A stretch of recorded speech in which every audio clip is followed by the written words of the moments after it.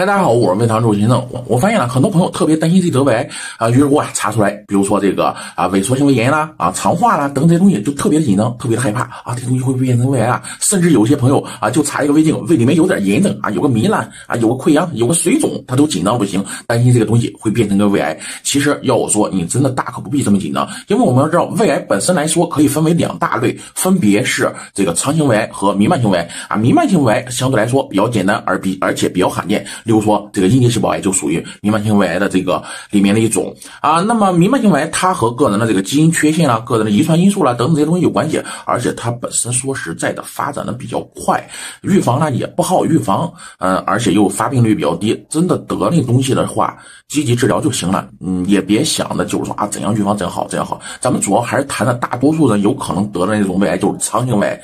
那么肠型胃癌它的发展情况是怎样的呢？它一般它的关键点就是在于胃黏膜的反复损伤。为什么我们会担心啊？这个萎缩和肠化，萎缩和肠化，我们之前谈过很多次了。呃，萎缩和肠化的关键原因就是这个胃黏膜被反复损伤。比如说，反复损伤次数多了，导致胃黏膜的数量减少啊。说白了，就跟一个人秃顶似的，它就是胃黏膜的萎缩啊。大致意思就是这样的。肠化是什么呢？这个胃黏膜被反复损伤了啊，导致一部分的胃黏膜长得像肠黏膜了啊。你其实这两个点儿，它就算发生了，你也没必要那么紧张。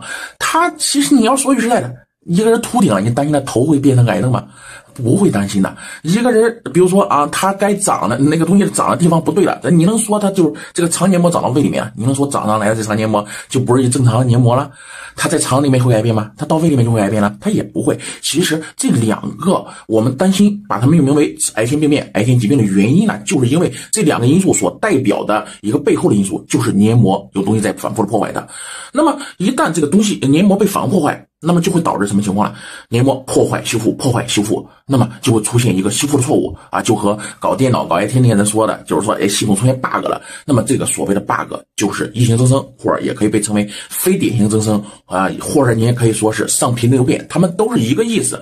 那么这个东西它就是指的这个。胃黏膜的这个细胞长得开始和正常的黏膜细胞不一样了，长得有点像癌症的胃癌的这个细胞了啊，轻度的，就是长轻度的这个硬等等啊，就长得和正常的胃黏膜细胞不太一样了，但大部分还是像的，哎，只是有一部分的感觉，哎，长得和这个癌细胞有点像了。中度的就是更像了，重度的就差临门一脚，立马就要变成癌症了啊！然后最终变成一个早癌，哎，这个过程才是癌症发生的一个重要关键点啊。那么就和我之前举的那个例子一样，如果你开着车在走一个悬崖，呃，到悬崖边了，你车子坏了啊，您现在需要决定的是，你修车还是先刹车啊？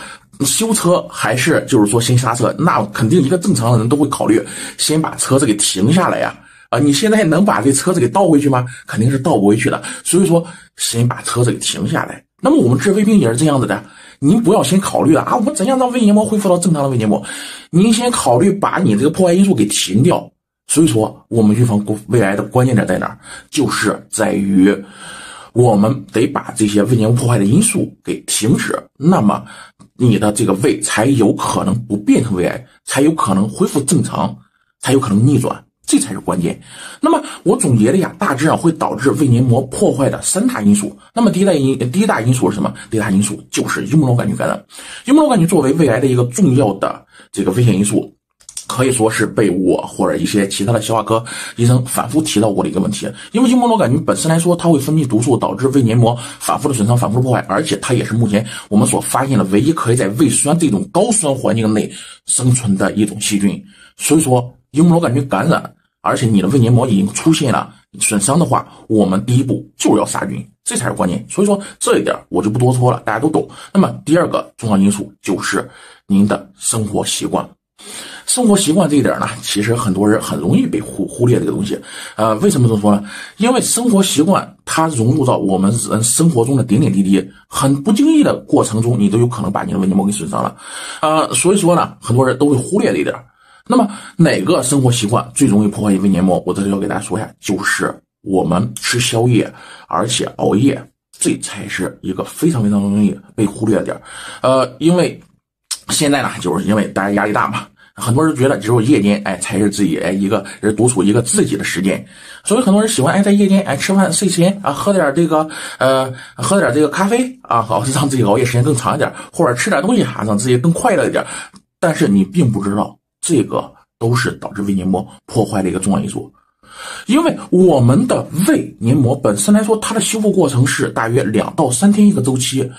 那么，如果你经常在夜间熬夜啊，夜间吃宵夜，那么你的胃黏膜在夜间胃的功能都得不到一个休息和修复。呃，首先你夜间熬夜、夜间吃东西的话，那你的胃处在一个紧绷、蠕动的状态。首先来说，它就会比较累，让你夜间每天都通宵，您受得了吗？每天九九六你也受不了，所以说胃它也是会受不了的。那还有就是说，你夜间吃宵夜会怎样？您吃了宵夜了，是您去睡觉了，但是你的胃还要不断努力的去这个消化食物，去蠕动。首先动力得不到修复，另外一方面，您夜间胃胃你不可能说每天吃那么多东西，它没有一丁点损伤的，但是大部分那些轻微的损伤，我们的胃都会自己进行一个修复。那么您吃了宵夜之后。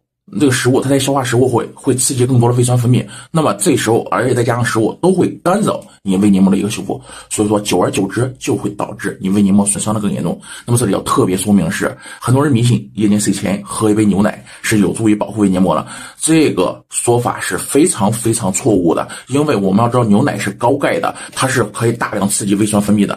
如果夜间经常喝牛奶，咱就不说胃黏膜损伤，你非常容易导致你的这个胃食管反流病的发生，也就是反流食管炎的这个发生。所以说这个习惯一定要改掉。然后第二个这个生活习惯就是很多人情绪比较悲观，尤其是这里要特别批评的，就是很多朋友啊喜欢一有点毛病就往上擦。你要知道，一个情绪悲观的状态下，你的胃一紧一收缩，一紧一收缩，首先功能会出现紊乱，那么你的胃酸各个方面的分泌都会出现紊乱。那么你觉得就是说胃一紧一收缩，一紧一收缩，那么这时候成天处在一个紧绷状态，再加上胃酸多，那么会不会导致你手捏得紧的时候，捏得紧的地方还会发红？胃整天这样绷的时候。它的胃黏膜会不会肿胀？会不会发炎？那发炎之后，胃酸再分泌多，会不会导致胃黏膜损伤？更别说你本身来说，胃黏膜就有损伤的情况下，它会加重损伤的。所以说，情绪的稳定一定一定要注意。胃肠是我们的第二大脑，它里面的神经元细胞是仅次于神经细胞是仅次于我们的大脑和你的脊髓的，所以说它是非常敏感的。啊，情绪一定要稳定。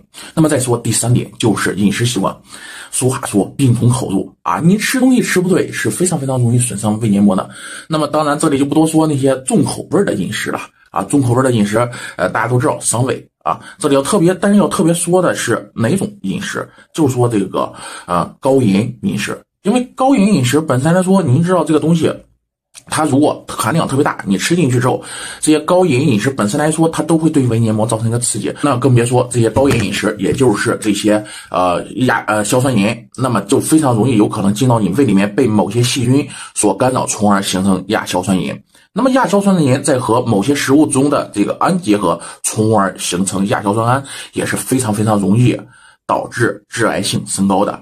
而且有些研究会发现，这些高盐饮食它是有助于增加这个幽门螺杆菌的毒性的。那么幽门螺杆菌感染再加上高饮食，那么会对你的胃黏膜损伤是会更大的啊。所以说饮食这方面高饮食一定要注意。另外一方面就是说，很容易被人忽略的一个习惯啊，尤其是一些老年人的一个习惯，就是吃烫的食物。呃，我们这里本身来说啊，是一个食管癌高发区。呃，你知道以很多。这些食管癌都是因为这个比较烫的食物所导致的。因为你要知道一件事，你这些烫的东西下去之后，那么非常容易导致您的黏膜损伤的啊。其实说白了，这烫的有些人那个特别烫的饭，您自己的皮肤都不愿意，你手都不愿意去挨啊。你呃，你直接喝下去，您觉得你的胃和食管受得了吗？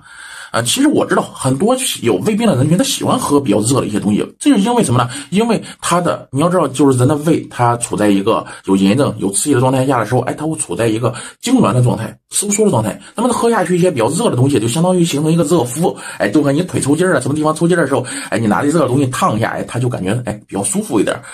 但是你要知道，这个东西背后是有黏膜损伤所造成的一个破坏的啊，嗯。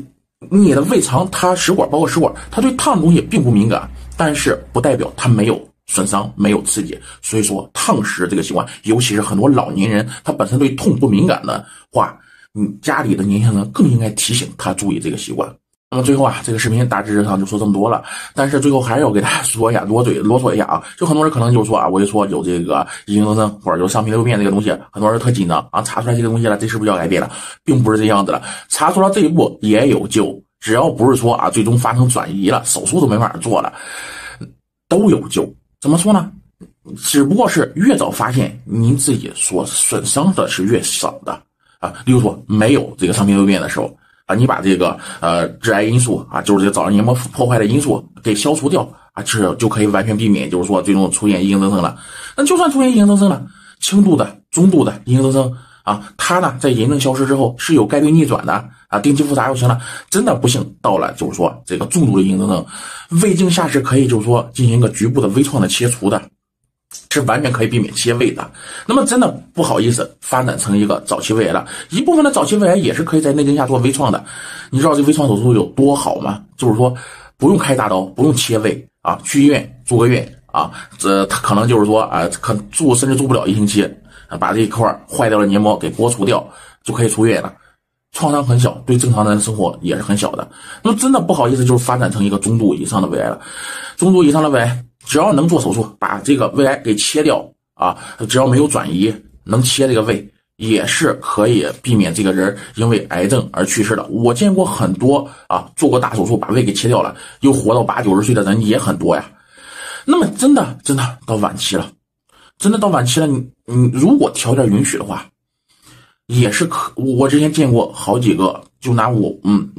就拿我呃身边有一个就是说比较熟悉的人，人家查出来一个一个癌症啊，当时所有的医院都断定他活不了三个月啊，最终人家不是活了快三年吗？你你你手术也没做啊，就是因为没办法做手术了嘛。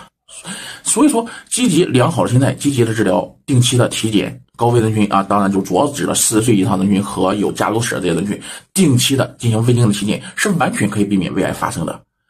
真的没有必要杞人忧天，因为有些人他本身来说就不是胃癌的高危人群，也没查出来什么事就整天上网查，整天看那些营销号吓唬自己。